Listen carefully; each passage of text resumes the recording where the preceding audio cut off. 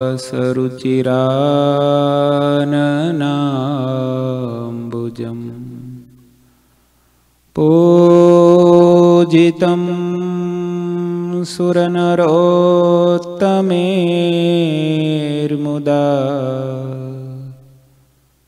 धर्मनन्दनमहं विचिन्तये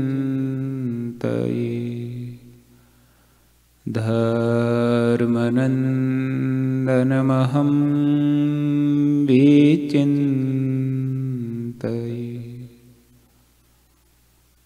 ॐ अवतारिणे श्रीस्वामिनारायणाय हरिकृष्णाय घनश्यामाय नीलकण्ठाय च नमो नमः। ॐ श्रीगुरुचरणकमलेभ्यो नमो नमः। बोलो श्रीघनिश्यां महाराजनि श्रीहरिकृष्णमहाराजनि श्रीस्वामिनारायणभगवाननि બધા ભક્તોને ખૂબ ભાવથી જય સ્વામિનારાયણ. વાલા ભક્તો, છેલ્લે શ્રી હરિચરિત્રામૃત સાગર ગ્રંથના દસમા પૂરનો તરંગ ત્રીજા એની કથા આપણે સાંભળી હતી. સદગુરુ મુક્તાનંદ સ્વામી દાદા ખાચરને કથા સંભળાવે છે.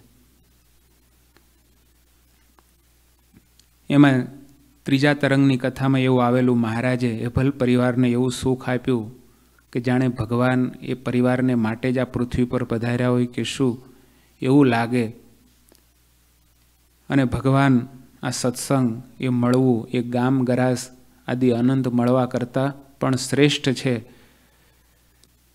જીવા ખાચરને એના માણસોએ કીધું કે તમે જોજો તમારો ગરાસ ભગવાન સ્વામિનારાયણ બધો ના પડાવી લે, તમને પડાવી તમે સાધુ થઈ જશો તો અમે શું કરશું? આવી રીતે જ્યારે હલકા શબ્દો સાંભળ્યા ત્યારે એને ખરેખરા શબ્દોમાં એમને સંભળાવી અને એને ઘરે મોકલી દીધા અને ઘરના બધાય મેમ્બરો, પરિવારોને ભેગા કરીને બધાને વાત કરી કે સત્સંગ મળ્યો છે આપણને તો? એની સામે અનંત ગરાસ મળે, અનંત મોટા બ્રહ્માંડો ભગવાનની નજરમાં નથી અને આપણો ગરાસ તો શું નજરમાં? ભગવાન મળવા દુર્લભ છે અને ભગવાન આપણને પોતાના માને છે, આપણી સાથે હેત રાખે છે, મારા ને તમારા માટે મોટી વાત છે. આવું જીવા ખાચરે પરિવારના સભ્યોને ભેગા કરીને વાત કરી.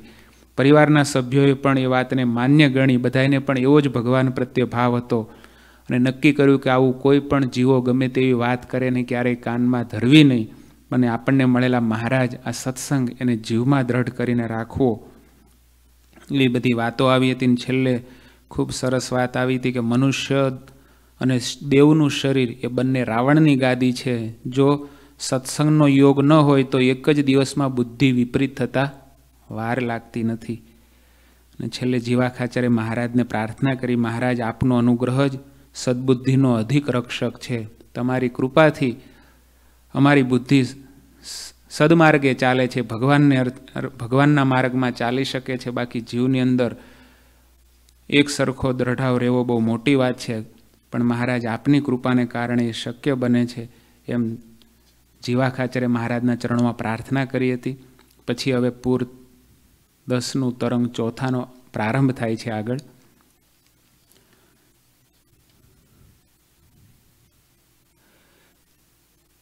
શ્રી હરિ કી ઈચ્છા જાહિલગ रे सोगढपुर माहि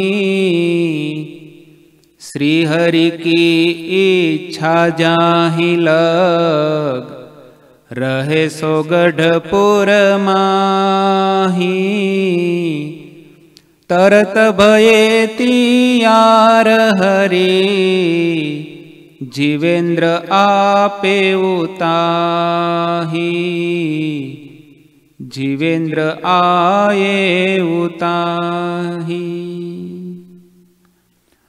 શ્રીહરિ પોતાની ઈચ્છા મુજબ ગઢપુરમાં રહ્યા, પછી તરત જ બહાર જવા તૈયાર થયા. તે જાણીને દરબાર જીવા ખાચર તરત જ શ્રીહરિની પાસે આવ્યા. તેણે બે હાથ જોડીને શ્રીહરિને કહ્યું, આપ તો થોડા દિવસમાં, થોડા દિવસ પણ અહીં રહ્યા નહીં અમારા મનોરથમાંથી આપે એક પણ પૂરો કર્યો નહીં. મહારાજ થોડા દિવસ ગઢપુરમાં રહ્યા છે અને પછી મહારાજ હવે દેશાંતરોમાં, ગામડાઓમાં ભક્તોને સુખ આપવાને માટે વિચરણ કરવા જવાનું તૈયાર નક્કી કરે છે અને તૈયાર થાય છે. જીવા ખાચરને ખ્યાલ આવ્યો કે હો મહારાજ આપણી વચ્ચેથી દૂર જઈ રહ્યા છે. એટલે જીવા ખાચર મહારાજ પાસે તરત આવ્યા અને બે હાથ જોડીને ભગવાનને પ્રાર્થના કરી કે, હે મહારાજ આપ તો મહારાજ થોડા દિવસ રોકાયા અને તરત પાછા આગળ જવાનો નિર્ધાર કર્યો. અમે તો મહારાજ ખૂબ મનોરથો કર્યા હતા કે આપને અમારા દરબારગઢમાં રાખીશું રસોઈઓ આપીશું, સંતો ભક્તોને જમાડીશું, કથા વાર્તા, દર્શનનો લાભ લઈશું. પણ મહારાજ અમારા મનોરથો તો બધા મનમાં જ રહી ગયા. અને આપ તો તરત ચાલવાની વાત કરો છો મહારાજ. જ્યારે જીવા ખાચરની હૃદયની શુદ્ધ ભાવના જોઈ, એણે મહારાજને વિનંતી કરી, ત્યારે મહારાજ श्रीहरि श्रीहरि परम दया नृपकी सोदिनता जोकर श्रीहरि परमदया नृपकी कर। जोकर अमृतने नरसा કે આય સો ભુવન પ્રતિ નૃપ કે સો ભુવન પ્રતિ અહીંયા આધારાનંદ સ્વામી લખે છે, સદગુરુ મુક્તાનંદ સ્વામી દાદા ખાચરને વાત સંભળાવતા કહે છે શ્રીહરિ પરમ દયાલ. ભગવાન કેવા છે, પરમ દયાળુ છે શ્રીહરિ પરમ દયાળુ છે, તેમણે અમૃત અને પ્રેમરસ ભર્યા નેત્રોથી તેમની દિનતાભરી ભાવના દેખી, પછી સ્વયં શ્રીહરિ જીવા ખાચરના દરબારગઢમાં આવ્યા. ભગવાન પોતાના ભક્તને આધીન વર્તે છે. પોતાના ભક્તને દુઃખી ભગવાન કરી શકતા નથી.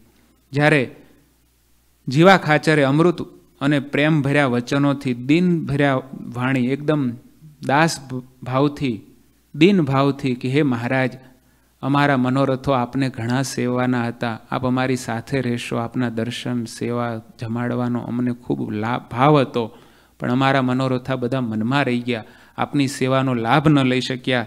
ત્યારે એના અમૃત ભર્યા પ્રેમ ભર્યા વચનો અને દિન ભર્યા વચનો સાંભળીને મહારાજે જે બહાર જવાનું નક્કી કરી વાળ્યું હતું, એ મહારાજે રોકી વાળ્યું. મહારાજીને થયું કે આમ આપણે જવું નથી. અને ભગવાન પણ પોતાના ઠેરાવ છોડી દે છે. પોતે ધારેલું તું બહાર જવાનું, પણ એક ભક્તની આગળ ભગવાન પણ ઝૂકી જાય છે. ભગવાને પોતાનું ધાર્યું છોડી દે છે. ઘણીવાર આપણે નક્કી કર્યું હોય ને આપણે નક્કી આપણે યારે તો કોઈ આગળનો કાર્યક્રમ ના હોય આપણી યારે કોઈ આવવાનું ના હોય ને આપણે આપણે જ નક્કી કર્યું હોય, પણ આપણે જો એકવાર નક્કી થઈ ગયું હોય ને એના પછી મૂકવાનું થાય, તો જીવને અઘરું પડે છે. જીવ મૂકી શકતો નથી, પણ ભગવાનને મોટા કેવા છે? એની નજરમાં અનંત બ્રહ્માંડો નથી તો એ ભગવાન પોતાના એક ભક્તની ભાવનાની આગળ પોતાનું ધાર્યું પણ ભગવાન મૂકે છે, છોડે છે. ત્યારે મારે ને તમારે તો ભગવાનને મોટા પાસેથી આપણું આત્યંતિક કલ્યાણ જોઈએ છે. એની પાસેથી કેટલું મોટું કાર્ય આપણે જોઈએ છે.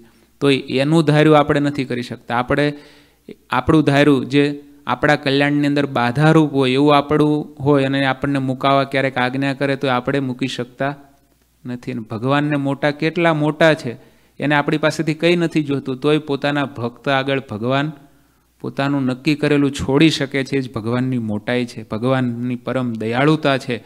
મહારાજે જવાનું નક્કી કર્યું તો એ માંડી વાળ્યું અને મહારાજ સીધા જ જીવા ખાચરના દરબારગઢમાં આવ્યા કે ચાલો તમારી ભાવના અમે પૂર્ણ કરીશું. એમ કરીને જીવા ખાચરના દરબારગઢમાં મહારાજ પધાર્યા છે. જીવા ખાચરે શ્રીહરિને રહેવા લાયક સારું ભવન બનાવ્યું હતું. અતિશય મનોહર જગ્યામાં કરેલા મકાનને સુંદર ધોળ કરીને ઉજ્જવળ કર્યું હતું. મહારાજ આવશે, મહારાજના સંતો આવશે, એટલે પહેલેથી બધી સરસ એણે તૈયારીઓ કરી. આખું એનું ભવન હતું, એને શણગારી દીધું હતું. સરસ મજાનો નવો ધોળ કરીને આખું જેમ દિવાળીમાં પેલી ગળીને આમ ધોળ કરે ને જૂના જમાનામાં, એમ ધોળ કરીને મહારાજને આ સંતોને આગતા સ્વાગતા માટે પહેલેથી ઘર પણ સરસ કરી દીધું હતું. આથામણા બારનું જે મકાન હતું તેની આગળના ભાગમાં સુંદર લીમડો ફેલાયેલો હતો. તેમાં શ્રીહરિએ ઉતારો કર્યો અને પ્રેમથી જાહેરમાં રહેવા લાગ્યા. મહારાજ, કે હવે અમે જીવા ખાચરના દરબારગઢમાં ત્યાં રહીશું, એની ભાવનાને પૂર્ણ કરવા મહારાજ એના દરબારગઢમાં આવ્યા. ફળિયામાં સરસ મજાનો સુંદર, વિશાળ લીમડો હતો. મહારાજે ત્યાં ઉતારો કર્યો. દરબાર વર્ણિની પાસે નિત્ય નવી રસોઈ કરાવતા રસોઈમાં કોઈ મીઠાઈ, સાકર વિનાની કરાવવી નહીં એવી તેમણે ટેક લીધી હતી. સવારે અને સાંજે બે વખત રસોઈ બનાવાતી અત્યંત ભાવથી શ્રીહરિ જમતા, પોતે જમતા અને સાથે જીવા ખાચરને પણ જમાડતા. જમાડવાની શ્રીહરિની એવી પ્રકૃતિ હતી. જીવા ખાચરે મુકુંદાનંદ વર્ણી કહેતા મૂળજી બ્રહ્મચારીને કહી રાખેલું કે, વર્ણીજી, મહારાજને બે ટાઈમ પાકી રસોઈ કરીને અમારા વતી જમાડજો અને કોઈ પણ રસ, રસોઈની અંદર મીઠાઈ બનાવીએ, સાકર વિનાની એક પણ મીઠાઈ બનાવવાની નહીં. આવો એનો પાછો ભાવ હતો. સવારે ને સાંજે બે ટાઈમ રસોઈ થાય. મહારાજ અને મહારાજના ભાવને જાણીને સ્વીકારે છે. ભગવાન જીવા ખાચરને પણ સામે બેસાડીને પ્રસાદી આપે છે. આવી રીતે મહારાજને સુખ આપે છે. જ્યાં સુધી સંતો ગઢપુરમાં રહેતા ત્યાં સુધી એ બંને દરબારો રસોઈ આપતા. હેભલ ખાચર અને જીવા ખાચર બંને ભાઈઓ હતા. ગઢપુરમાં ચારે વર્ણોના બીજા હરિભક્તો ઉત્તમ હતા. તેઓ પણ વારાફરતી રસોઈ આપતા હતા. સંતો દિવસમાં એકવાર જમતા પોતાના રહેવાના સ્થળમાં જ નિત્ય રસોઈ બનાવી લેતા. હેભલ ખાચર ને જીવા ખાચર બંનેને ભગવાનને સંતો પ્રત્યે ખૂબ ભાવ હતો. નિત્ય મહારાજને સંતોને રસોઈઓ આપતા વારાફરતી ગઢપુરની અંદર ચારેય વર્ણોના બ્રાહ્મણ, ક્ષત્રિય, વૈશ્ય, શુદ્ર બધી જ્ઞાતિના લોકો હતા. એ પણ બધાએ, એમાં પણ ઘણા બધા ભગવાન સ્વામિનારાયણના ભક્તો હતા. એ પણ સમય અનુકૂળ પોતાને જ્યારે ચાન્સ મળતો ત્યારે મહારાજને સંતો ભક્તોને અર્થે રસોઈ આપીને ધન્ય થતા. સંતો દિવસમાં એકવાર રસોઈ કરીને જમાડતા અને એ સંતો પોતાના આસન ઉપર ઉતારે જ રસોઈ કરી લેતા અને બીજું શું સંતો કરતા એ લખે છે, રાત દિવસ કથા અને કીર્તન કરતા અને ધ્યાન સ્મરણ સિવાય દિવસ વિતાવતા નહીં. સંતોની આ કેવી રીતભાત હતી એ લખ્યું છે. સંતો દિવસમાં એકવાર અનાજ જમતા અને એ પોતાના જ્યાં આસન હોય, ઉતારા હોય, ત્યાં જ રસોઈ બનાવીને સંતો જમાડતા. અને રાત દિવસ કથા કીર્તન કરતા એ મુખ્ય એનું જીવન હતું. જે કોઈ જીવાત્મા કોઈ આવે તો એને ભગવાનની વાત કરે, કોઈ જીવાત્મા ના હોય તો સંતો પરસ્પર ભગવાનના મહિમાની શાસ્ત્રની ચર્ચાઓ સંતો પરસ્પર કરતા અને ભગવાનની કથા વાર્તા કરતા, તો અને કીર્તનોનું ગાન કરતા, ધૂન ભજન કરતા અને ભગવાનમાં વૃત્તિ રાખતા. સદગુરુ ગુણાતીતાનંદ સ્વામીના જીવનમાં આપણે જોઈએ છીએ કે સ્વામીએ કીધું કે આ પોથી ખોલી, ત્યારથી ખોલી, પછી ક્યારેય બંધ કરી જ નથી. અખંડ કથા વાર્તા સ્વામીના આસને ચાલુ ને ચાલુ. જે કોઈ આવે, મુમુક્ષુ બે પાંચ બેસે, સ્વામી તરત કથા વાર્તા ચાલુ જ કરતા. સ્વામીનું એવું નહીં બેઠા હોય તો જ કથા ચાલે. સ્વામી તો સેવા કરાવતા હોય કે બીજું કરતા હોય તોય સ્વામીનું વાતો તો ચાલુ જ હોય. અને સ્વામીની વાતોમાં પ્રથમ પ્રકરણની પહેલી જ વાત, ભગવાનને ભગવાનના સંતના મહિમાની વાત સ્વામી કે નિરંતર કર્યા કરવી.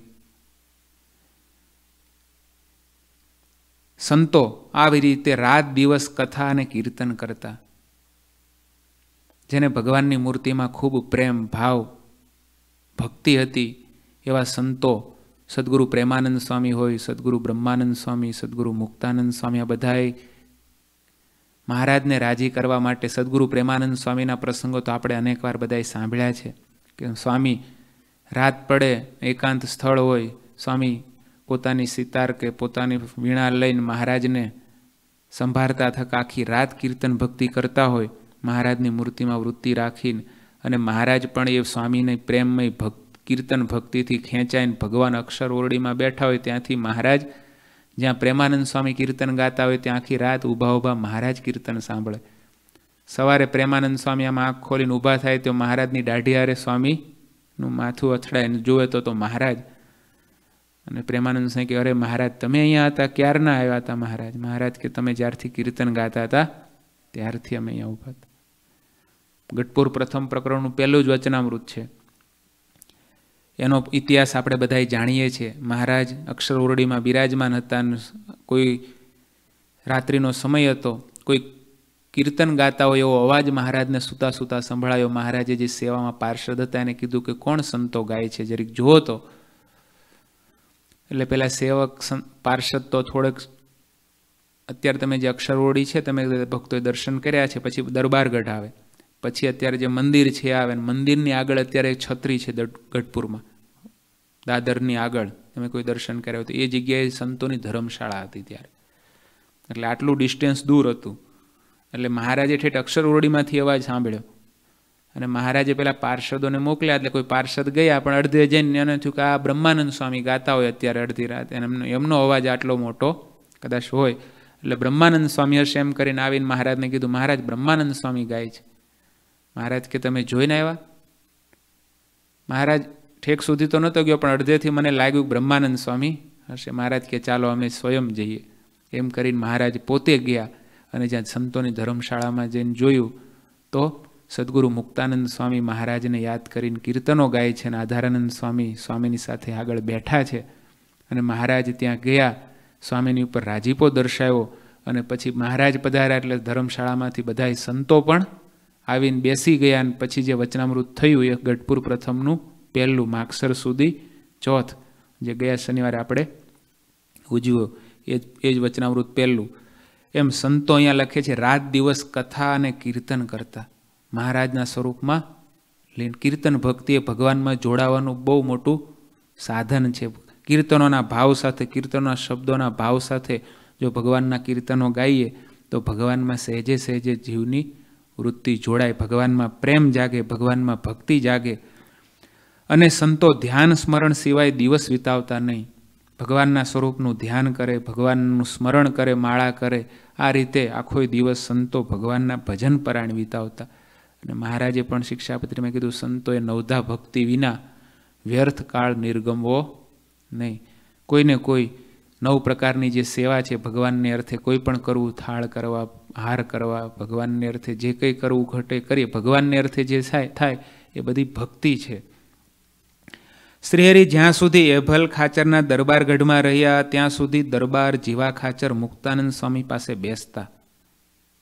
અને શ્રીહરિના જે જન્મ વગેરે ચરિત્ર પૂછતા. ઘણીવાર મહા, ભગવાનને સંત આપણે ત્યાં આવે, પણ આપણે એટલા બિઝી હોઈએ કે સંતને કે તમે અહીંયા રોકાવ, રસોઈ કરો જે બનાવો એ બનાવો, પણ અહીંયા રહો પણ એ ભાઈ નવરા હોય નહીં એ પછી સવારથી સ્ટોરમાં ઉપડે ને હાજી આવે ત્યાં થોડી વાર આમ તેમ કર્યું ને મળ્યા બેઠા ને પાછા પૂરું. એનો ભાવ હોય કે સંતો અરે પણ પાછા સંતોનો સમાગમ કરવા પાછા બેસે નહીં તો એનાથી કોઈ લાભ થાય નહીં. એભલ જ્યારે જીવા ખાચર, જ્યાં સુધી એભલ શ્રીએરી જ્યાં સુધી એભલ ખાચરના દરબારગઢમાં રહ્યા ત્યાં સુધી દરબાર જીવા ખાચર મુક્તાનંદ સ્વામી પાસે બેસતા.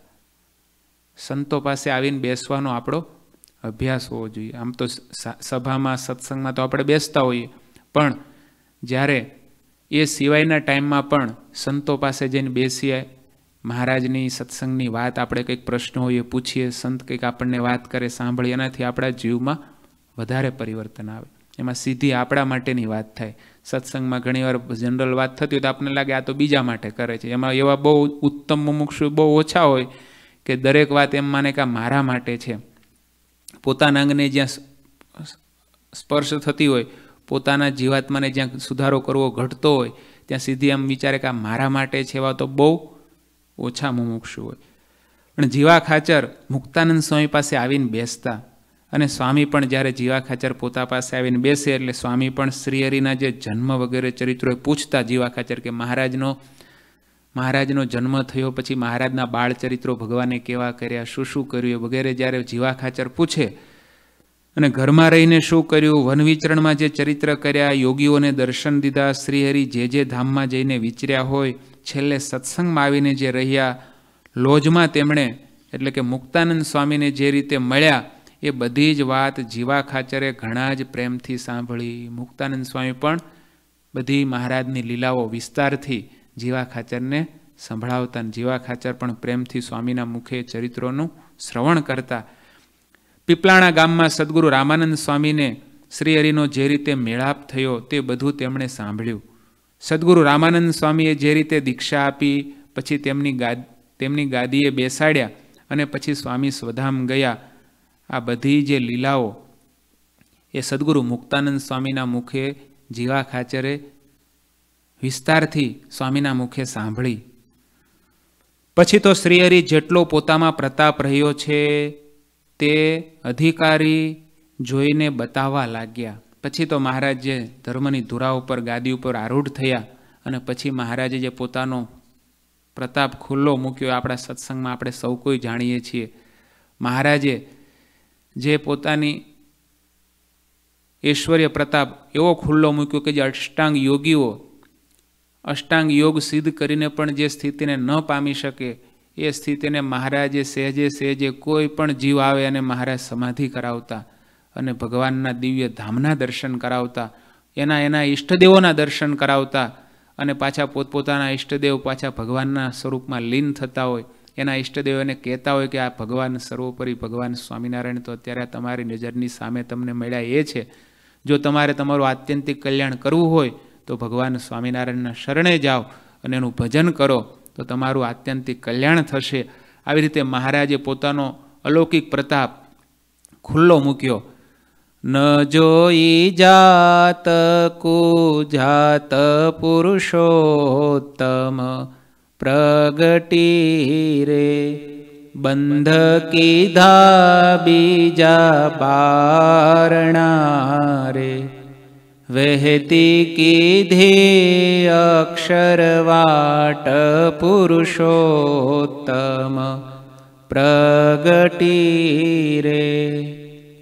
अषाढी मे घेयावि कर्या रे જા જા બીજા જા કળ પુરુષોત્તમ પ્રગટી રે. જીવો જે માયામાં બંધાયેલા હતા, અજ્ઞાની અને અસદ પુરુષોમાં બંધાયેલા હતા, એ બધાયથી વાળી વ્યસન ફેશનમાંથી વ્યસન ફેતુર, ફેલ ફતુરમાં બંધાયેલા હતા, એ બધેથી છોડાવીને બધાને અક્ષરધામની વાટ ખુલ્લી કરી અનેક જીવોને ભગવાનના માર્ગે વાળ્યા. ભગવાન સ્વામિનારાયણનો એવો અલૌકિક પ્રૌઢ પ્રતાપ હતો, જેમ અષાઢી મેઘ વરસે અને બીજા બધાએ જાજા કીધા ઝાકળ, જે થોડા ઘણા ઝાપટા પડે તો પછી અષાઢી મેઘ તો જેમ વરસે એટલે આખી પૃથ્વી જળબંબાકાર અને અષાઢમાં જે મેઘ જો વરસે તો ઘણીવાર કૂવામાંથી પાણી આમ બહાર આવતા હોય. એવા દિવસો જોયા હશે. અમે જોયા હતા લોયામાં, પાતાળિયા કૂવામાં. એવો વરસાદ થાય કે આમ હેલીઓ થાય કે કૂવાના કૂવા તો ઉભરાઈ જાય, એમને કૂવામાંથી પાણી બહાર આવવા માંડે. બહાર, ઉપરથી. એટલે એમાં પછી પેલા જાપટા તો શું નજરમાં આવે, આવો વરસાદ વરસે એમ. એમ ભગવાન સ્વામિનારાયણ સર્વોપરી પરબ્રહ્મ પુરુષોત્તમ નારાયણ પૃથ્વી પર પ્રગટ્યા અને એવો ઐશ્વર્ય પ્રતાપ ખુલ્લો મૂક્યો. એવું એમનું સામર્થ્ય, ઐશ્વર્ય પ્રતાપ સંતો ભક્તોની રીતભાત, એ જોઈને કંઈક જીવો ભગવાન સ્વામિનારાયણના આશ્રિત થાય એટલું નહીં. મોટા મોટા મઠાધિપતિઓ હતા, મોટા મોટા ગામના દરબારો હતા રાજાઓ હતા, એ પણ ભગવાનનો એવો પ્રતાપ જોઈને ભગવાન સ્વામિનારાયણના આશરે આવ્યા. ભગવાન સ્વામિનારાયણનું ભજન કરવા લાગ્યા અને મહારાજે ગાદી ઉપર બેસીને લખે છે, પછી તો શ્રીહરિ જેટલો પોતામાં પ્રતાપ રહ્યો છે તે અધિકારી જોઈને બતાવવા લાગ્યા. ત્યારે પાતાળથી અક્ષરધામ સુધી તે પ્રતાપને સુખદેવજી, નારદ અને સનકાદિક જેવા બધા સિદ્ધો ઠેક ઠેકાણે કહેવા લાગ્યા. મહારાજે જ્યારે પોતાનું આવું અલૌકિક ઐશ્વર્ય સામર્થ્ય ખુલ્લું મૂક્યું અને અનેક જીવોને ભગવાનના દિવ્ય ધામોના દર્શન કરાવવા લાગ્યા, ત્યારે પાતાળથી લઈને અક્ષરધામ સુધી તે પ્રતાપને સુખદેવજી, નારદ, સનકાદિક આ બધા જે સિદ્ધો હતા, જેની લોકાંતરોમાં ગતિ હતી, એ તો પછી જ્યાં જ્યાં જાય ત્યાં ભગવાન સ્વામિનારાયણની વાતો કરવા લાગ્યા કહો અત્યારે પરબ્રહ્મ પુરુષોત્તમ નારાયણ આ ફૂટલા બ્રહ્માંડમાં પધાર્યા છે અને શું એનું પોતાનું ઐશ્વર્ય ખુલ્લું મૂક્યું છે? કંઈક જીવોને પોતાના આશ્રય લે છે, કંઈક જીવોને સમાધિઓ, જે વર્ષો અને યુગો સુધી સાધનાઓ કર્યા પછી પણ જે સુખના જીવને મળે, એ સુખ ભગવાન પોતાના પ્રતાપે કરીને સામાન્ય જીવોને પણ ભગવાન અનુભવાવે છે. મનમાં અત્યંત ઉત્સાહથી તે પ્રતાપને સીધો ગાવા લાગ્યા. તે સાંભળીને બધા લોકમાં રહેનારાના મનમાં પણ ઘણો ઉત્સાહ થયો અને વારંવાર શ્રીહરિના ચરિત્રોને સંભાળવા લાગ્યા. આ જે મુક્તો હતા, સિદ્ધ સિદ્ધ મુક્તો, જે અનેક લોકની અંદર ગતિ કરી શકતા, એ બધાએ મનમાં અત્યંત ઉત્સાહથી આ ભગવાનનો અલૌકિક પ્રતાપ બધે ગાવા લાગ્યા, બધે જે જે લોકમાં જાય ત્યાંના નિવાસી, ત્યાંના અધિપતિ, ત્યાંના મુક્તો, એને પણ એના પ્રતાપની વાતો કરવા લાગ્યા. એ સાંભળીને તે તે મુક્તો પણ બધાએ મનમાં ઘણા ઉત્સાહથી વારંવાર શ્રી હરિજના એ ચરિત્રો સાંભળીને અંતરમાં સંભાળવા લાગ્યા કે ભગવાન સ્વામિનારાયણ અત્યારે આ પૃથ્વી પર પ્રગટીને કેવું અલૌકિક? ઐશ્વર્ય પ્રતાપ જણાવી રહ્યા છે.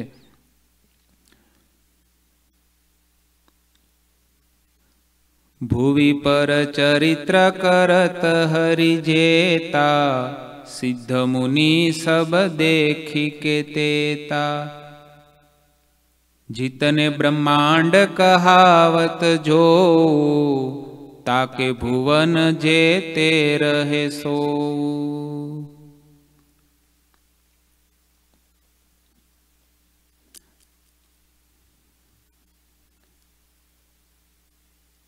અહીંયા મુક્તાનંદ સ્વામી આગળ કથા કરતા કહે છે કે શ્રીહરિ ભૂમિ ઉપર જે જે ચરિત્ર કરતા તેને સિદ્ધો અને મુનિઓ દેખતા. પછી જેટલા બ્રહ્માંડોમાં અલગ અલગ લોક હોય ત્યાં રહેનારા મોટા મોટા દેવોની આગળ તરત જઈને પણ ઘણા આનંદથી કહેતા અને તેના અંગમાં પ્રેમ અને ખુમારી સમાતા નહીં. જેને મહારાજની આ લીલાઓ જોઈ છે, જાણી છે, અનુભવી છે અથવા તો જે સિદ્ધ મુક્તો હતા, એ બધાએ શ્રીહરિ ઉપર શ્રીહરિ ભૂમિ ઉપર જે ચરિત્ર કરતા એને આ સિદ્ધો અને મુનિઓ દેખતા ભગવાનની કૃપાથી. એને મહારાજના બધા ચરિત્રો દેખાતા અને એ ચરિત્રો જોઈને એના અંતરમાં આનંદ આનંદ થતો અને પછી શું કરતા? જેટલા, પછી જેટલા બ્રહ્માંડમાં અલગ અલગ લોક હોય, ત્યાં રહેનારા મોટા મોટા દેવોની આગળ તરત જઈને ઘણા આનંદથી કહેતા, એ જે સિદ્ધ મુક્તો, એણે જે મહારાજની કૃપાથી મહારાજના ચરિત્રોને ત્યાં રહ્યા થકા અનુભવતા, જોતા, દર્શન કરતા અને એના કારણે એના અંતરમાં પણ ખુમારી ચડતી ઓહો ભગવાને અત્યારે કેવો અલૌકિક પ્રતાપ ખુલ્લો મૂક્યો છે. અને પછી તો એ પ્રતાપને પોતે અનુભવ્યો. એના ઓડકાર એ જ્યાં જ્યાં જાય, જે જે લોકમાં જાય, તે તે દેહ, તે તે લોકના અધિપતિ, ત્યાંના મુક્તોની આગળ પણ એ ભગવાનના ઐશ્વર્ય પ્રતાપની વાતો કરવા લાગ્યા. અને મોટા મોટા દેવોની આગળ તરત જઈને ઘણા આનંદથી કહેતા અને તેના અંગમાં પ્રેમ અને ખુમારી સમાતા નહીં. ભગવાન પ્રત્યેને અપાર પ્રેમ થતો અને ખુમારી જાગતી ઓહો ભગવાન સ્વામિનારાયણ કેવા મોટા પ્રતાપી પ્રગટ થયા છે. એના પ્રત્યેની અંતરમાં ખુમારી સમાતી નહીં અને ભગવાન પ્રત્યે આપોઆપ પ્રેમ અને ભક્તિ ઉત્પન્ન થતી. કારણ કે ભગવાનની આવી અલૌકિકતા જોઈને જીવના અંતરમાં ભગવાન પ્રત્યે સહેજે સહેજે ભક્તિ જાગતી. તે તે લોકમાં તે મોટા દેવો જ્યારે શ્રીહરિના ચરિત્રોને સાંભળતા ત્યારે તરત જ તેમને સમાધિ થઈ જતી હતી. તે દેવોના અંતઃકરણમાં મુનિઓ શ્રીહરિના ચરિત્રોને કહેતા, ત્યારે તેવા જ ચરિત્રોને શ્રીહરિ કરતા હોય તેવું તે દેવોને દેખાતું.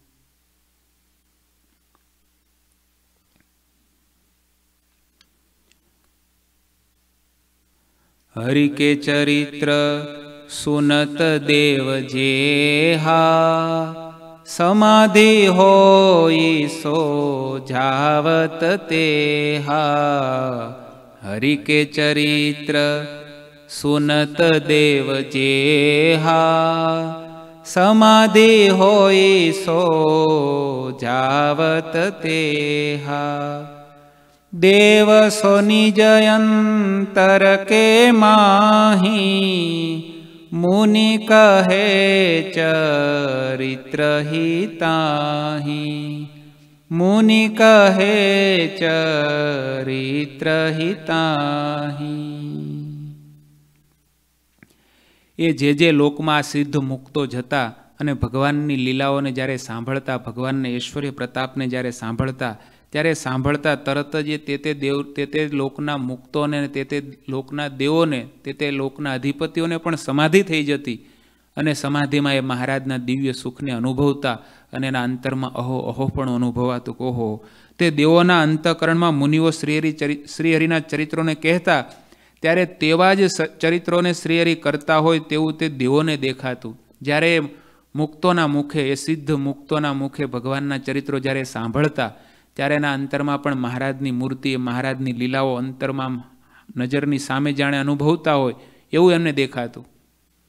અને હું ને તમે આપણે પણ જ્યારે ભગવાનના ચરિત્રોની કથા સાંભળતા હોઈએ, શાસ્ત્રો દ્વારા, મોટા સત્પુરુષો દ્વારા, સંતો દ્વારા, ત્યારે આપણે એવું ન માનવું જોઈએ કે આજથી બસો વર્ષ પહેલાં ભગવાન આમાં આ કરે છે અને કંઈક ગઢપુરમાં મહારાજ બેઠા છે ને સંતો બેઠા છે ને ત્યાં આવી વાતો ચાલે છે ને મહારાજ આવી લીલા કરી. પણ આપણે પણ એ લીલાના જે એક ભાગ રૂપે આપણે પણ થઈ જઈએ. મહારાજે એ સભામાં મહારાજ દર્શન આપે છે અને મહારાજની જોડે બે સામે બેઠેલા સંતો ભક્તોમાં હું પણ બેઠો છું. મહારાજ સંતો ભક્તોને પીરસે છે, હું પણ એક પાત્ર રૂપે ભક્ત રૂપે બેઠો છું. મહારાજનો લાભ મને પણ મળે છે.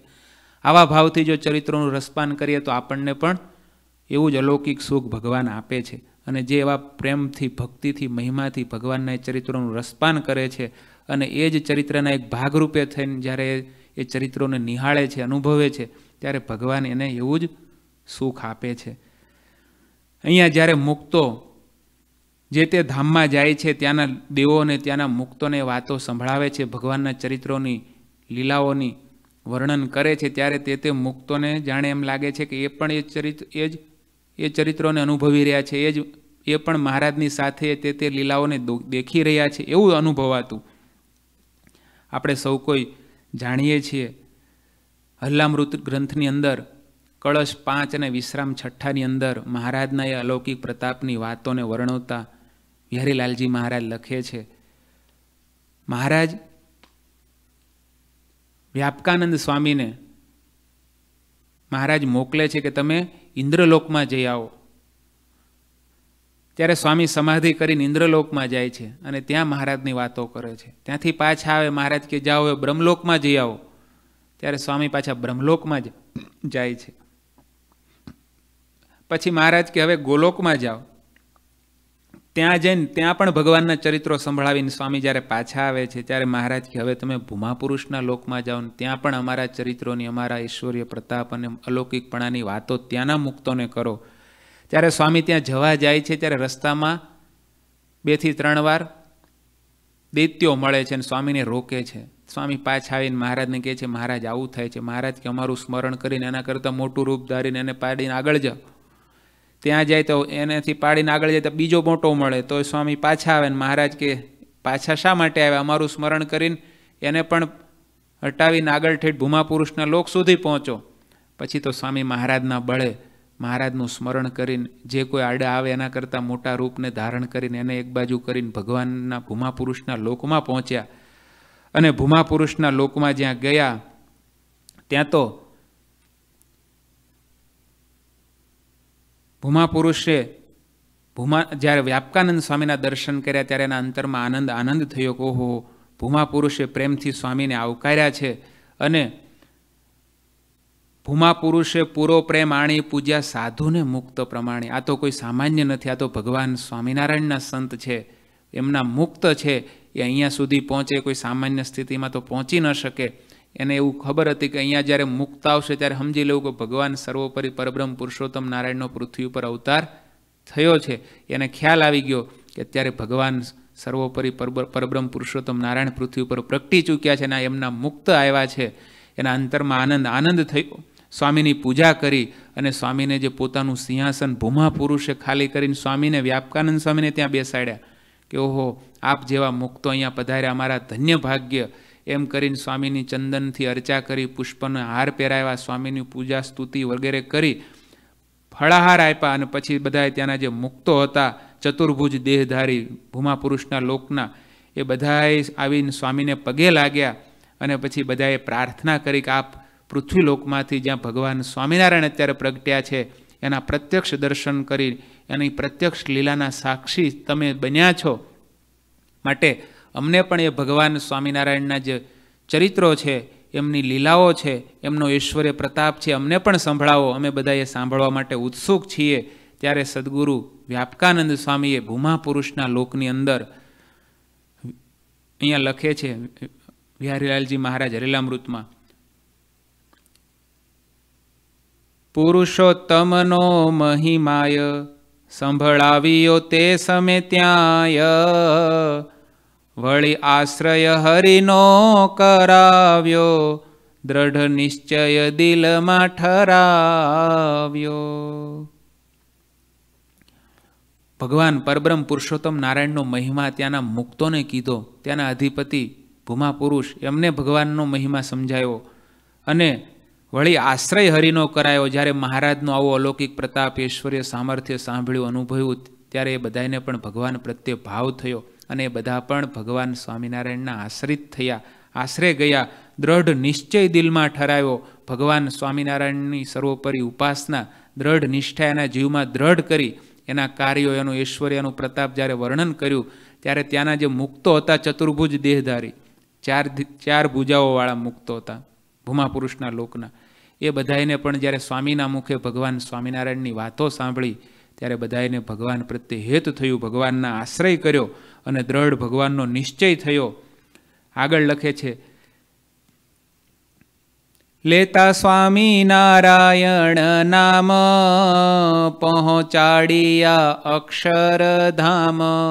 પછી તો ભૂમા પુરુષના લોકમાં વ્યાપકાનંદ સ્વામીએ સ્વામિનારાયણ મહામંત્રની ધૂન કરાવી અને બધા મુક્તોએ પણ પ્રેમમય બની અને ભગવાન સ્વામિનારાયણની મૂર્તિને સંભાળી અને સ્વામિનારાયણ મહામંત્રની ધૂન કરવા લાગ્યા. અને એટલામાં તો મહારાજની કૃપાથી ભગવાનને વ્યાપકાનંદ સ્વામી દ્વારા એ બધાએ ભૂમા પુરુષના લોકના તમામ મુક્તો એક સાથે બધાએ અક્ષરધામના અધિકારી થઈ ગયા. આખો ભૂમા પુરુષનો લોક જ ખાલી.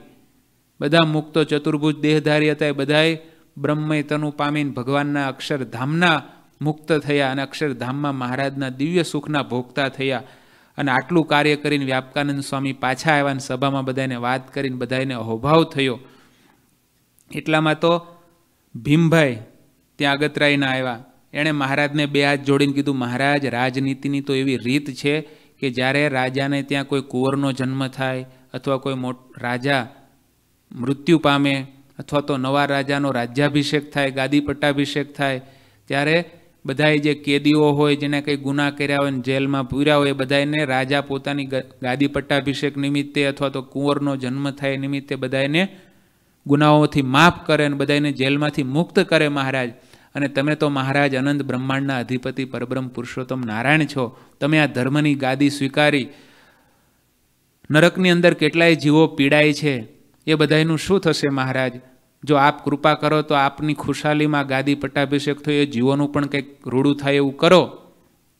ત્યારે મહારાજે સ્વરૂપાનંદ સ્વામીને આજ્ઞા કરી કે, સ્વરૂપાનંદ સ્વામી, તમે નરકમાં જાઓ અને ત્યાંના જીવોને અમારું ભજન કરાવીને એને ત્યાંથી સદગતિ આપો, ત્યાંથી મુક્તિ અપાવો. મહારાજની આજ્ઞા થતાં સ્વરૂપાનંદ સ્વામી નરકના કુંડમાં ગયા અને નરકના કુંડમાં જ્યાં સ્વામી પહોંચ્યા અને ત્યાં સ્વામીના દર્શન કર્યા અને સ્વામીએ ત્યાં જઈને સ્વામિનારાયણ સ્વામિનારાયણ ભજન કરવા લાગ્યા. ત્યાં તો પેલા યમના દૂતો હતા, એ બધા ભાગ્યા ત્યાંથી કે આ અહીંથી ભાગ્ય નહીંતર હમણાં આપણું આવી બનશે. સ્વરૂપાનંદ સ્વામી જ્યારે સ્વામિનારાયણ મહામંત્ર ત્યાં ગાયો, ત્યારે બધા જે યમ દૂતો હતા, એ બધા ભાગી ગયા અને જે યમપુરીની અંદર પોતાના પાપ કર્મોનું ફળ ભોગવતા જે જીવો હતા એને તો અપાર કષ્ટ, અપાર વેદના, એનું કોઈ વર્ણન ના થઈ શકે. એક એક કુંડનું જો વર્ણન સાંભળે તો એ જીવને આમ કંપારી છૂટી જાય. એવું વર્ણન, એવું દુઃખ ત્યાં જીવો નરકની અંદર ભોગવે, એ બધાને થયું કે આ સંત આવ્યા અને એ કંઈક બોલ્યા, એમાં તો આ બધાય ભાગ્યા. આપણે પીડામાંથી મુક્ત થયા, માટે આ સ્વામી કોઈ સામાન્ય નથી. બધા એમાંથી બહાર આવી આવીને સ્વામીના ચરણે પડ્યા, પગે લાગ્યા અને સ્વામીને પ્રાર્થના કરવા લાગ્યા, અરજી કરવા લાગ્યા કે અમને આમાંથી, આ દુઃખમાંથી મુકાવો. અમે ખૂબ અહીંયા દુઃખી છીએ, ખૂબ આ યમદૂતો અમને પીડા આપે છે, કષ્ટ આપે છે. હવે અમે આવું ફરી ભૂલ નહીં કરી, અમારાથી જે કંઈ થઈ ગયું અમને માફ કરીને અમને આ દુઃખમાંથી મુક્તિ આપો. ત્યારે સ્વરૂપાનંદ સ્વામીએ ત્યાં નિયમપુરીમાં રહેલા જીવોને ભગવાન સ્વામિનારાયણની ધૂન કરાવીને બધાને ભગવાન સ્વામિનારાયણનું ભજન કરાવ્યું અને લીધું સ્વામિનારાયણ નામ. ત્યાં તો બધાય ને મહા, ચતુર્ભુજ દેહધારી થયા. જે યમપુરીના જીવો તો કેવા હોય, પણ એ બધાએ પણ ભગવાન સ્વામિનારાયણનું ભજન કરવા માત્રથી ચતુર્ભુજ દેહધારી થયા અને બધા યમપુરીના જીવોને એક સાથે ભૂમા પુરુષના લોકમાં મોકલી દીધા. કારણ કે ભૂમા પુરુષનો લોક આવ ખાલી થઈ ગયો હતો ત્યાંના બધા એને અક્ષરધામમાં મોકલી દીધા હતા. ત્યાં ભૂમા પુરુષ એકલા આવે સામે કોઈ જ નહીં. એટલે એને પાછા મળવા પડે ને મેમ્બરો. એટલે સ્વરૂપાનંદ સ્વામી દ્વારા મહારાજે આખી યમપુરી ખાલી કરાવીને તમામ જીવોને ચતુર્ભુજ એક સ્વામિનારાયણ ભગવાનના સંતનો કેટલો પ્રતાપ, એક ભગવાન સ્વામિનારાયણ મહામંત્રનો કેટલો પ્રતાપ કે એક મહારાજનું ભજન કરવાથી યમપુરીના દુઃખમાંથી ઉગર્યા અને સીધા ભૂમા પુરુષના લોકમાં ચતુર્ભુજ દેહધારી મુક્તો થઈ ગયા. કેટલી મોટી પ્રાપ્તિ. કેવો ભગવાન સ્વામિનારાયણનો અલૌકિક પ્રતાપ. એટલું નહીં, એ જ વિશ્રામની અંદર, આ છઠ્ઠા જ વિશ્રામમાં આગળ આવે કે ભીમભાઈ ભગવાન સ્વામિનારાયણની કથા વાર્તા સાંભળીને, ભગવાનના મહિમાની વાતો સાંભળીને, સત્સંગના અલૌકિકપણાની વાતો સાંભળીને, એ તો કેફમાં ને કેફમાં વાડીનું કામ કરવા વાડીએ ગયેલા. અને વાડીએ ગયેલા, એમાં કોઈ ઝાડના થડ નીચે કીડીઓના રાફડા જોયેલા અને એમ થયું ઓહો હો આપણે તો ભાગ્યશાળી કે આ મનુષ્ય દેહ મળ્યો ને ભગવાન સ્વામિનારાયણના દિવ્ય સંતોના દિવ્ય સત્સંગ મળ્યો. પણ આ જીવોનું ક્યારે કલ્યાણ થશે? આ જીવો ક્યારે ભગવાનને પામશે? આટલા સંકલ્પ માત્રમાં આકાશમાં અનેક વિમાનો આવ્યા અને કીડીઓના દેહ હતા, એ બધા ચતુર્ભુજ દેહ ધારીને વૈકુંઠ લોકને પામ્યા.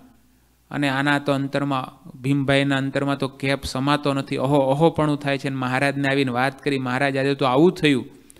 મહારાજ કે કે ભગવાન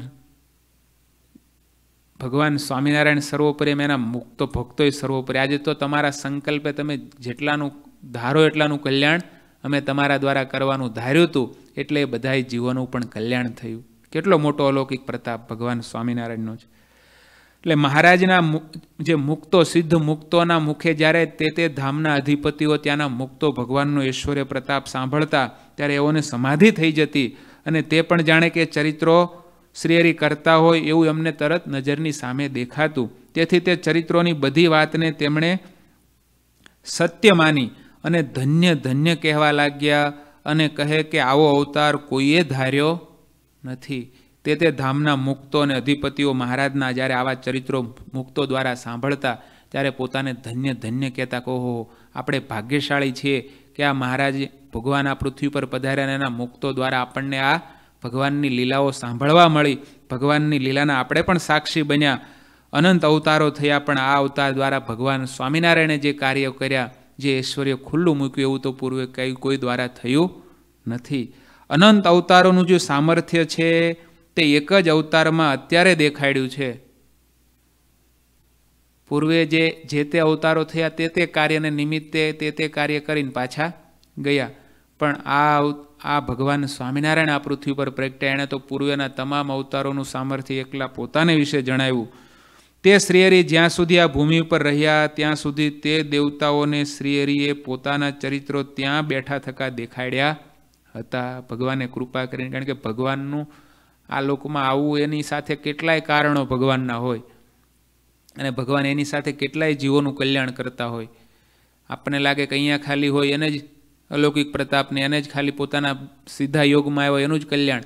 પણ ભગવાન તો એની સાથે સાથે કેટલાય ધામના મુક્તો અને તે તે ધામના અધિપતિઓ પણ આ લોકમાં મનુષ્યાકારે પધાર્યા હોય. અને એને પણ ભગવાનના યોગ થતાં જો ભગવાનની સર્વોપરી નિષ્ઠાન આજ્ઞા ઉપાસના દ્રઢ થાય તો એ પણ સીધા પછી અક્ષરધામને પામે. પોતાની જે જે ડ્યુટી હોય એ પૂરી કર્યા પછી. એટલે મહારાજ આ પૃથ્વી પર પધાર્યા રહ્યા ત્યાં સુધી ભગવાને જે જે લીલાઓ કરી એ ભગવાનની કૃપાથી તે તે દેવતાઓને શ્રીહરિએ પોતાના ચરિત્રો ત્યાં બેઠા થકા દેખાડ્યા હતા. અહીંયા ભગવાન જે લીલા કરતા એમને ત્યાં અનુભવાતી અને ત્યાં રહ્યા થકા ભગવાનની લીલાના દર્શન કરતા.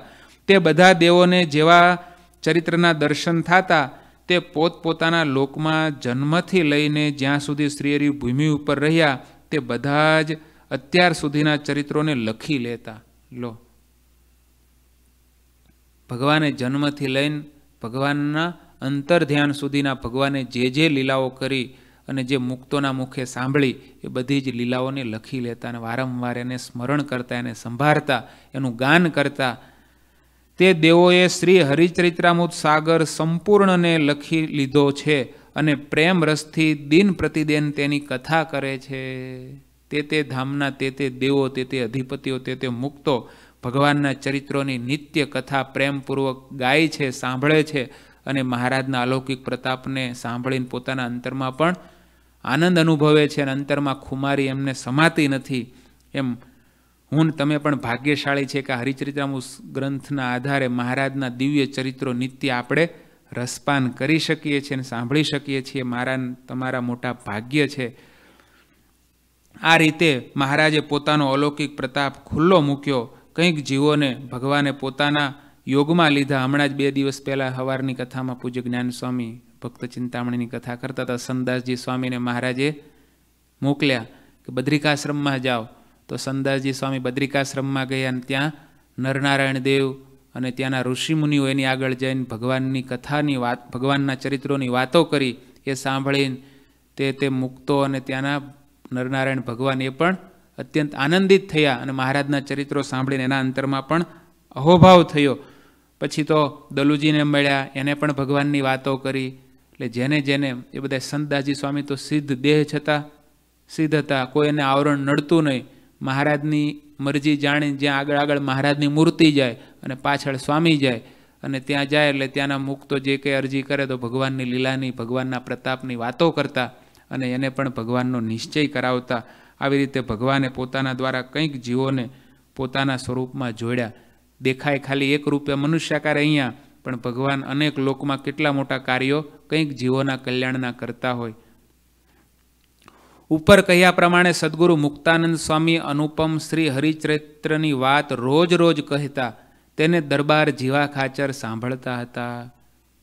મુક્તાનંદ સ્વામીના મુખે આવી અનેક આ લોકની નહીં, લોકાંતરની વાતો, ભગવાનના ચરિત્રોની વાતો એ સાંભળીને જીવા ખાચર ધન્ય થતા. પછી જીવા ખાચર જે વાત મુક્તાનંદ સ્વામી પાસે જઈને સાંભળી હોય, તે શ્રીહરિ પાસે જઈને કહેતા. પછી જીવા ખાચર નિત્ય મહારાજના દર્શન તો કરે, સવાર સાંજ આ એટલે જાય એટલે કે ઓહો, સ્વામી, મહારાજ પૂછે, શું સાંભળ્યું આજે? સ્વામીનો શું સમાગમ કર્યો? અરે, સ્વામી, મહારાજ, આજ તો એવી દિવ્ય અલૌકિક વાતો સ્વામીના મુખે સાંભળી કે એની કોઈ સીમા નહીં. મારા અંતરમાં આનંદ સમાતો નથી. એમ કરીને સ્વામીએ જે વાતો કરી હોય લોકાંતરની બીજા મુક્તોના ત્યાં કેવી રીતે મુક્તોએ ભગવાનના સર્વોપરીપણાની વાતો કરી એ બધી વાતો મહારાજને સંભળાવતા અને અંતરમાં આનંદ સમાતો નહીં. અને જ્યારે મહારાજ સાંભળતા, ત્યારે મહારાજ શું કહેતા એ લખે છે? ત્યારે શ્રીહરિ તેમને કહેતા કે આ વાત બધી તમારા પરિવાર આગળ જઈને કહેજો. તમે જે આ વાત સ્વામીના મુખે સાંભળીને, એ પાછા તમારા ઘરના બધા પરિવારના સભ્યોને પણ એ વાત સંભળાવજો. એટલે ઘણીવાર કેવું થાય કે આપણે બધા ભેગા થઈએ પરિવારના મેમ્બરો, પણ પછી વાતો શું કરીએ?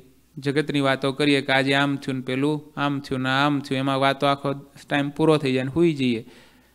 પણ ભગવાનના ભક્તની એ રીત છે કે જ્યારે પરિવારના લોકો, ભક્તો પણ ભેગા થઈ એટલે ગુરુજી કીધું ને બધાએ જેને પરિવારમાં એકતા, સુખ સુરતભાવ જોઈએ અને દિવસમાં એકવાર ભજન અને એકવાર ભોજન સાથે કરવું. આપણે ભોજન તો કદાચ આ દેશમાં ના થતું, પણ કરતા હશું. પણ હારે હારે ભજન, ભગવાનની વાતો, ભગવાનના સત્સંગની ઐશ્વર્ય પ્રતાપ, કથા, વાર્તા, એ જો કરીએ, તો એનાથી શું થાય? આપણને જે પ્રાપ્તિ થઈ છે, આખા પરિવારને પણ એ અલૌકિકતા, એ સુખ, એ દિવ્યતા આખા પરિવારમાં આવે. એટલે મહારાજ પણ એવું વિચારતા કે આને એકને જે અલૌકિકતા અનુભવાય છે, આખા પરિવારમાં થાય, તો બધાને સુખ થાય. અને બધાય ભગવાનના માર્ગે એક ભાવથી આગળ ચાલે તો બધાને એકબીજાનો સપોર્ટ રહે, એકબીજાને અલૌકિકતા હોય બધાને આનંદ હોય, પણ એકને બહુ ભાવ હોય ને એકને કંઈ હોય નહીં તો પછી સુખ આવે નહીં. એટલે આપણને જે અનુભવાયું છે, આપણને જે ભગવાનને મોટાનું સુખ મળ્યું છે આખા પરિવારના સભ્યોને પણ કહેવું આ અમૂલ્ય સત્સંગ મળ્યો છે એટલે કોઈ તેને છોડી ન દે. પરિવારના સભ્યોને પણ આ તમે જે વાતો સ્વામીના મુખે સાંભળી, એ બધા ઘરના મેમ્બરોને પણ તમે ભેગા કરીને વાત કરજો. કેમ? તો કે મહારાજ કહે છે કે આ અમૂલ્ય સત્સંગ મળ્યો છે એટલે કોઈ તેને છોડી ન દે. ને આગળ કીધું ને કે મનુષ્યનું દેહ અને દેહનું દેવોનું શરીર, એ તો કેવું છે? રાવણની ગાદી છે. જો એક દિવસ પણ સત્સંગ ન થાય તો માણસની બુદ્ધિ વિપરીત થઈ જતા વાર લાગતી નથી. એટલે આ સત્સંગનો અલૌકિક પ્રતાપ, આ સત્સંગની દિવ્યતા, આ સત્સંગની દુર્લભતા એને નિત્ય વિચારા કરવી, એની વાતો સાંભળવી અને એવી વાતો પરસ્પર પરિવારમાં પણ કરવી, જેથી કરીને આપણને ક્યારેય એમાંથી દૂર ના થઈ જઈએ. જે વિમુખ લોકો કહેવાય છે, તેને અમારા મહિમાની ખબર હોતી નથી. જે જગતના વિમુખ જીવો હોય, એ તો કે ભગવાનના પ્રતાપને ભગવાનની શું, ભગવાન શું છે, ભગવાનની શું શું ઐશ્વર્ય છે, શું પ્રતાપ છે, ભગવાનના ભજને કરીને જીવ નરક, લક, ચોરાશી, યમ, યાતના એ બધાથી છૂટીને ભગવાનના ધામમાં દિવ્ય, સુખનો અધિકારી જીવ થાય છે. એ જે ભગવાનનો અલૌકિક પ્રતાપ છે, સામાન્ય જીવને તો શું ખબર પડે? એ તો આ જગતના જ, સુખમાન જગતમાં જ લેવાયેલો રહે. એમાંથી બહાર એની કોઈ બુદ્ધિ ના ચાલતી હોય, એમાંથી એના કોઈ બહારના વિચારો ના હોય. એટલે મહારાજ કે જે વિમુખ લોકો કહેવાય છે, તેને અમારા મહિમાની ખબર હોતી નથી. તેઓ પોતાની સમજણ પ્રમાણે અમારી બાબતમાં કલ્પના કરતા હોય છે. એ શું કરે કલ્પનાઓ કરે કે આ બધું આમ હશે ને પેલું હશે, પણ આમાં તો કંઈ હોય નહીં. એમ જાણીને બધી વાતને ઉડાવી દે.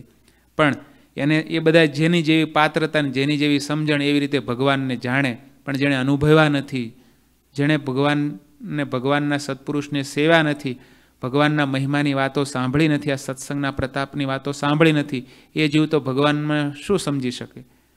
પોતાની કલ્પના પ્રમાણે, પોતાની સમજણ પ્રમાણે જેવા જ હોય એવા કે, કોઈક તો પછી એવું કે આ તો ભગવાન સ્વામિનારાયણ તો બાબરીઓ ભૂત વશ કર્યો છે એ તો કામણ ટુમણવાળા છે ને, જે કોઈ એની યોગમાં જાય એને બધું એ જ દેખાય, બીજું કંઈ દેખાય નહીં, આવા કરી દે છે ને, એટલે એનાથી દૂર રહે, ડરીને ચાલે.